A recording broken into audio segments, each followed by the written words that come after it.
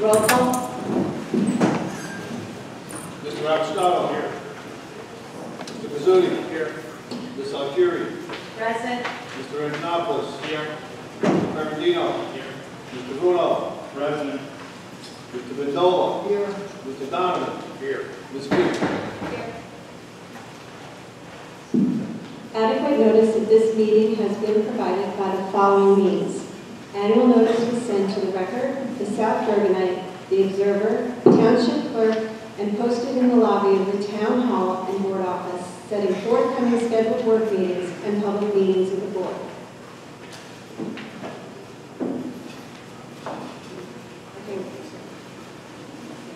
And now we're going to hear from Mr. Greco, our superintendent.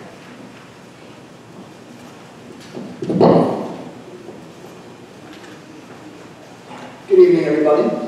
Um, I'd like to start, uh, there's a handout next to the um, podium that has our uh, report of violence, vandalism, harassment, intimidation, and bullying. Um, It's a state-required report, uh, student safety data system. Um, So I'm going to run through that. This will also be on the website. I think we made a decent amount of copies. Um, If there is not enough, it'll also be on our website under district information and in the superintendent section. Um, So there's two reporting periods. Um, If you go to the second page, um, there's report period one. Um, And basically, it lists all of our schools, uh, Columbus, Franklin, Jefferson, Lincoln, uh, the high school, Memorial Campus, Roosevelt, and Washington School. And you have a total number of incidents, uh, violence, vandalism, substance abuse, weapons, and then there's HIB, harassment, intimidation, bullying confirmed.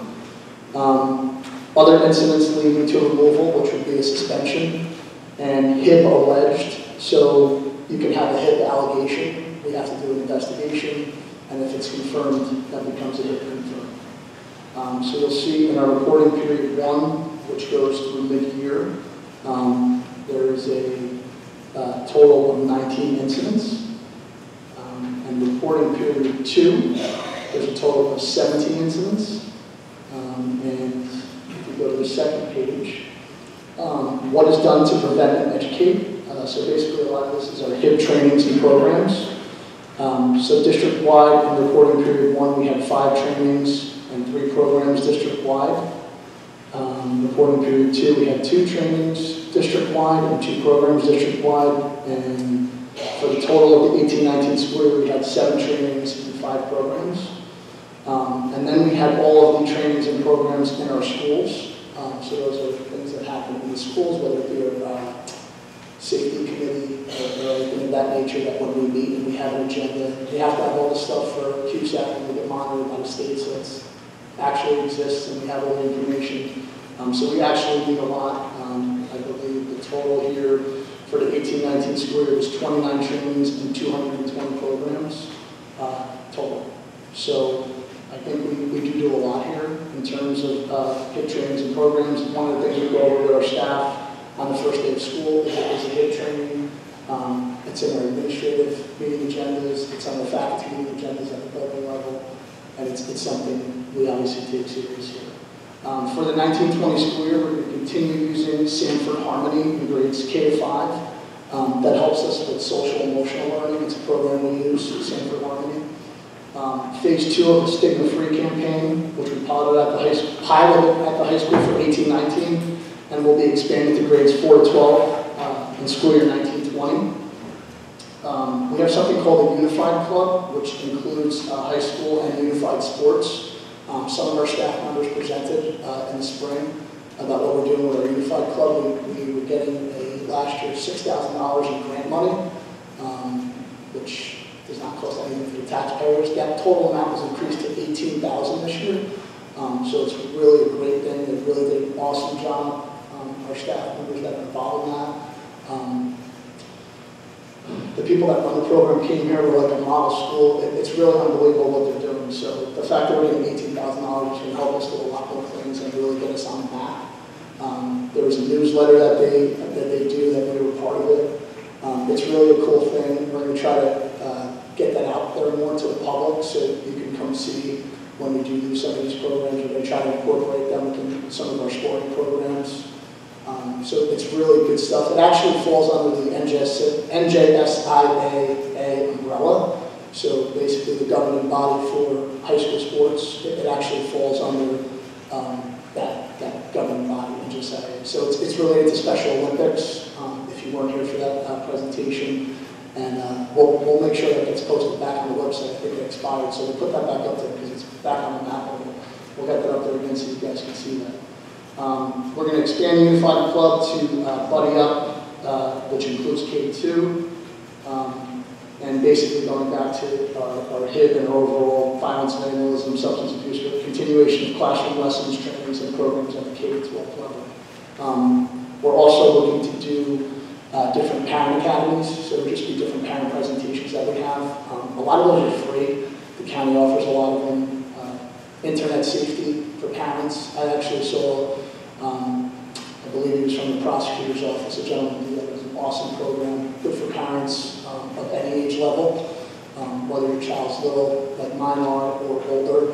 Um, They kind of give you things to look for in terms of social media and things like that. Even if you think you're in tune, there's always something new coming out. You got to stay on top of all of that stuff. So there's some really good programs out there, and we, we plan on sharing not only with our staff, but with parents and the community as well. Um, Just to move along, uh, we will be giving more updates on not only our uh, K to 5 referendum, um, which is, is moving forward, but as well as our opening of a new uh, middle school next year. Um, Currently, uh, search process for is underway with an outside consulting group. Um, So we we will be giving uh, periodic updates on that. Um, In terms of technology, we are looking to move forward with an infrastructure uh, overhaul. Um, I know even in this room, sometimes it's come up. Our phones, our Wi-Fi, um, our access points uh, for Wi-Fi, our cabling, a lot of that is is antiquated and needs to be fixed.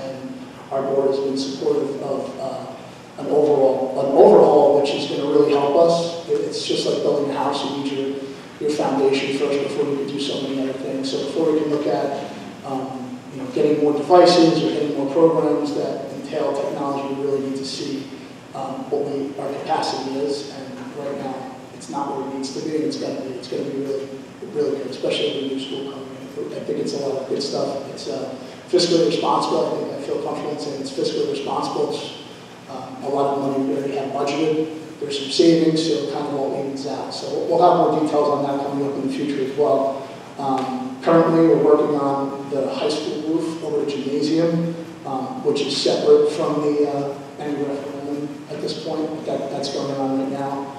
Um, And that is pretty much it for the updates. Um, Obviously, school opens next week. Ready to go. We're just tying up some loose ends. It's always a busy time of year, no matter how well prepared you are. Things happen last minute. Um, So in terms of staffing, we're, we're very close to, to having everything staffed, and, and I feel comfortable. Um, Like I said, there's always a few little glitches that you have this time of year, but we're, we're getting through them. Um, And also, just on a separate note, we are looking to um, post some new uh, positions in the district. Um, We're looking to reconfigure um, some of our administrative positions within the district, and uh, again, being fiscally responsible within our budget um, without really increasing anything. Um, We're looking to reconfigure uh, and have directors, um, directors within our, our school district. Um, And this would be a change to our current uh, setup, where we have, you know, basically principals, which we still have, and supervisors. We're looking to go to a director model, which I think will be more efficient and uh, help us in a lot of ways. Um, educationally, it makes a lot of sense. And again, it's, it's, again, it's building the foundation to what, you know, I think and what I'm recommending to the board um, would be beneficial for us while being fiscally responsible. Obviously, you know, there's been some financial issues here that we're working through, and, um, you know, the board has been very supportive of everything we've been trying to do. It's time for us to move forward, because we need to compete with, you know, the other districts. Give our students the best that's out there, and uh, we want to do that. So however we can do that, we're going to try to make it happen while, you know, again, being fiscally responsible, I probably said it five times. Um, In addition to those positions, we are also looking to uh, potentially reconfigure um, some positions in our offices and create a uh, individual to help us in the area of human resources. Um, This will be a non-administrative position and something that I very beneficial to us based on some of the, uh, I guess, obstacles we face every day in terms of health benefits, um, certifications, things that there are many state reports, there's much oversight from the state, um, and really it's an important position because it's for the individual, for the employee, it's, it's their livelihood, it's, it's something that they need somebody who can, can give them an answer, give them an answer for, uh, in a- quick manner. So that's all I have right now. Look, uh, stay tuned for some of these things. They're going to be out there for the public to see. There's not going to be any hiding of anything. Um, Again, some of these are not done. Some of these things are being done as quickly as we can do. Um, But again, they're all in the best interest of kids, uh, best interest of students, and and that's what we're going to continue to try to do. So that's all I have. Um, Enjoy the rest of your week and a little bit of summer that we have left, see everybody soon around the district. I'll turn it over to uh, Mr. Uh, State Mine. Thank you, Um, Some of the things that uh, Anthony spoke about, been working closely with them, specifically with uh, reorganizing um, uh, the administrative positions and to also increase efficiency within the business office and within the central office. Uh, As you're aware, um, every uh, uh, has to undergo a comprehensive audit uh, each year. The auditors are working right now here in Lyndhurst. Their field work is anticipated to be finished by the end of next week. After that, they return to their office, they write the whole report up. It's a- It's a detailed report, so it'll take them some time. And then after that, report will be reviewed internally at the auditors uh, uh, place business. And then basically, uh, that should be finished by the end of October. At that time, the, the process is that the auditors will sit down with the administration, to go over uh, a draft issue of it. uh, And we we then uh, have an opportunity to discuss matters in case we disagree with them. And then it would go on to the uh, finance committee and then ultimately uh, to the whole board. Uh, Bottom line, that that process should be finished uh, by the end of October, so that at the uh, November board meeting, the auditors would come and make a complete public presentation to to everyone. Um, We know, I have uh, a new subject, we're going on for a few months now, uh, what we're going to do with the uh, the health benefits uh, that uh, cover all our employees. And we are moving forward uh, to switch to the state health benefit plan.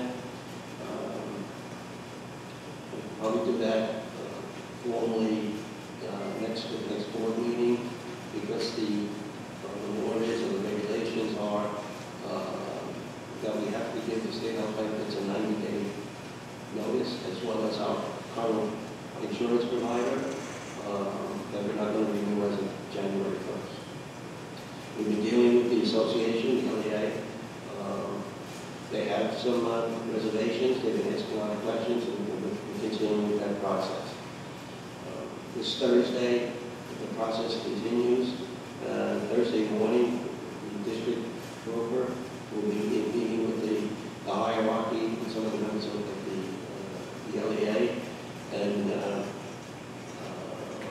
the broker will go and and, uh, explain to, to the union um, many of the procedures that will be forthcoming. The major proceeding is switching January 1st. In October, there is an open season, and then all employees will have the opportunity to select the policy which is best suited for them. And the broker on Thursday will be uh, explaining each one of these options. it will also, uh, we will touch upon setting up a schedule so that when it gets close to October, when the employees have to make the final decision, the broker will be going to every school uh, during the day to have uh, another conversation to explain the differences and the aspects of the various policies that are available. Uh, Obviously, we- we- we'll keep everybody posted as time goes on. Um, So concludes my report. Thanks.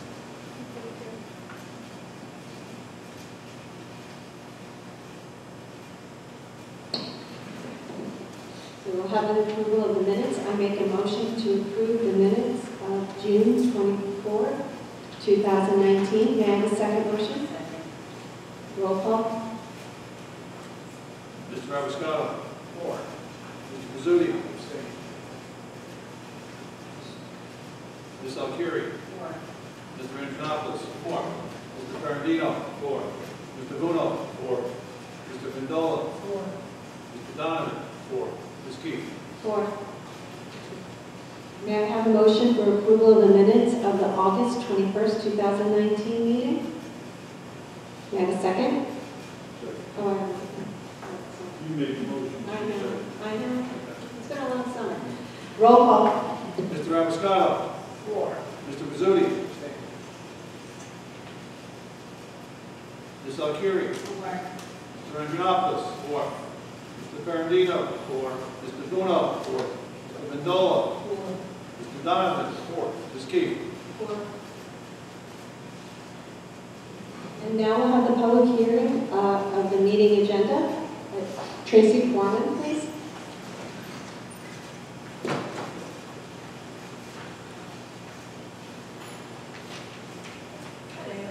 Um, quick question. I don't think your mic's on. Can I talk loudly? Sure. Okay, great. Um, who was the previous designated qualified purchasing agent before Ms. Dean was designated this year? And, no, no, before you did, because, yeah, like, all the questions that came into play during the audit, who was that qualified purchasing agent? Prior meeting. Oh, thank you. All right. I know. I was expecting so much more, Tracy. Yeah, yeah, I, you never just start off. Like, I can't wait for y'all. Okay, we have a lot on the agenda tonight, so bear with us, because there's a few, uh, a few things we need to change, minor things, but, and as we go along, so just be patient with us. Uh, First, we're going to have finance. Under finance, any board member who takes exception to any of the following listed actions under the category of finance committee may so indicate now, and a separate motion for each of the accepted actions will be entertained. Hearing none, I make a motion, the board adopts number one through twenty-seven. Second. Roll call. Mr. Abiscato. Four. Mr. Pizzuti. Four. Ms. Alcieri. Four. Mr. Antonopoulos. Four. Mr. Ferrandino. Four. Mr. Bruno. Four. Mr. Vindola. Four. Mr. Donovan. Four. Ms. Keefe. Four. Education and curriculum, Susan. Any board member who takes exception to any of the following listed actions under the category of Education and Curriculum Committee may so indicate now in a separate motion that each of the accepted actions will be entertained. Hearing none, I make a motion that 1 to 12 be accepted. I second. Roll call. Mr. Abiscato. Four. Mr. Pizzuti. Four.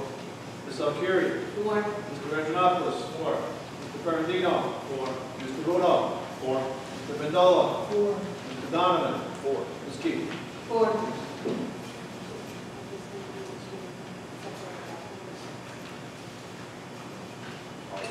Policies and rules and regulations, Mr. Donovan. Any board member who takes exception to any of the following listed actions under the category of policies, rules, regulations committee may so indicate now, a separate motion for each of the accepted actions will be entertained. Hearing none, I make a motion to accept the following numbers one through five, with number six being read separately. Second. Roll call? Mr. Abiscato. Four. Mr. Pizzuti. Four. Ms. Alcieri. Four. Mr. Antonopoulos. Four. Mr. Ferrandino. Four. Mr. Bruno. Four. Mr. Vindola. Four. Mr. Donovan. Four. Ms. Keefe. Four. I make a motion to accept number six, Second. Roll call? Mr. Abiscato. Four. Mr. Pizzuti. Four. Ms. Alcieri. Four. Mr. Antonopoulos. Four. Mr. Ferrandino. Four. Mr. Bruno. Four. Mr. Vindola. Four. Mr. Donovan. four. Ms. Keefe. I recuse myself, I submitted some of the permits in that one. Um, Before we move on to community relations and safety and security, I just want to point out we have the doctrine of necessity attached here, and it should not, it, it doesn't apply in this instance or in any instance tonight. So I just want to make that very clear. Um,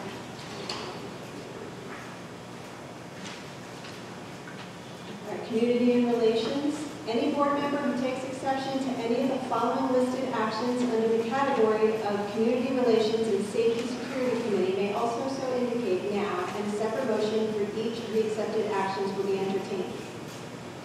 Hearing none, I make a motion for number one. Second. Roll call. Mr. Abiscato. Four. Mr. Pizzuti. Four. Ms. Alcieri. Four. Mr. Antonopoulos. Four. Mr. Ferrandino. Four. Mr. Bruno. Four. Mr. Vindola. Four. Mr. Donovan. Four. Ms. Keefe. Four. Should we, do to do athletics and student activities? Any board member who takes exception to any of the following listed actions under the category of athletics and student activities committee may so indicate now, and in a separate motion for each of the accepted actions will be entertained. Hearing none, I make a motion that we accept one through four. Second. Roll call. Mr. Abiscato. Four. Mr. Pizzuti. Four. Ms. Alcieri. Four. Mr. Antonopoulos. Four. Mr. Ferrandino. Four. Mr. Bruno. Four. Mr. Vindola. Four. Mr. Donovan. Four. Ms. Keefe. Four. Before we get to new business, uh, there was one item that was not numbered, and it's on page 22, and it's the uh, paraprofessional guide, and it would be number 18. Mr. Abiscato? Any board member who takes exception to any of the following listed actions under the category of new business may so indicate now and accept a motion that each of the accepted actions will be entertained. Hearing, hearing none, I usually approve numbers one to fourteen and sixteen and seventeen. Second. Roll call. Mr. Abiscato. Four. Mr. Pizzuti. Four. Ms. Alcieri. Four. Mr. Antonopoulos. Four. Mr. Ferrandino. Four. Mr. Bruno. Four. Mr. Vindola. Four. Mr. Donovan. Four. Ms. Keefe. Four. Item fifteen, be it resolved that the Lyndhurst Board of Education approve the addition of a Boys Lacrosse program for the 2019-2020 school year, not to exceed the cost of twelve thousand five hundred dollars. Second. Roll call. Mr. Abiscato. Four. Mr. Pizzuti. Four. Ms. Alcieri. Four. Mr. Antonopoulos. Four. Mr. Ferrandino. Four. Mr. Bruno. Four. Mr. Vindola. Four. Mr. Donovan. Absolutely. Ms. Keefe. Four. Uh, Number 18, be it resolved that the Lyndhurst Board of Education approve 2019, 2020, and 2020, 2021 paraprofessional salary.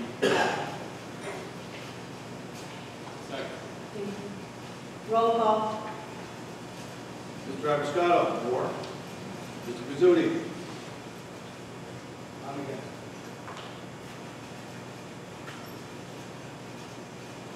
Ms. Alcieri. Against, and I'd like to clarify why I am against. I'm not against the people getting raises, I'm against bullet number G on number 18. I do not feel that after two consecutive sick days, a person should have to have a doctor's note.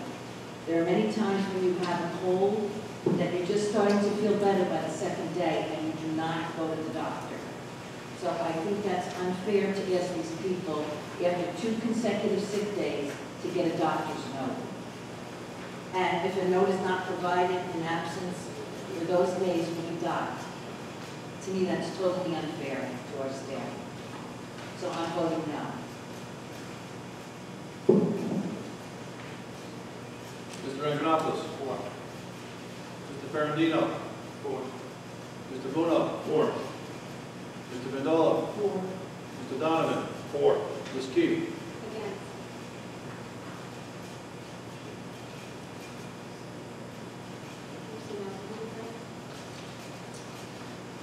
Any board member who takes exception to any of the following listed actions under the category of personnel may so indicate now, and a separate motion for each of the accepted actions will be entertained. I take exception to section F number three. Make the motion to approve items A through O, and excluding section, number number two, section F for a separate vote. I second. Roll call. Mr. Abiscato. Four. Mr. Pizzuti. Four. Ms. Alcieri. Four. Mr. Antonopoulos. Four. Mr. Ferrandino. Four. Mr. Bruno. Four. Mr. Vindola. Four. Mr. Donovan. Four. Ms. Keefe. Four. I make a motion to approve item two under section F. Second. Roll call.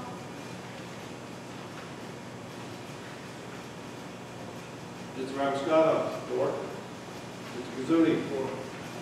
Ms. Alcieri. Four. Mr. Antonopoulos. Four. Mr. Ferrandino. Four. Mr. Bruno. Four. Mr. Vindola. Mr. Donovan. Four. Ms. Keefe. Four.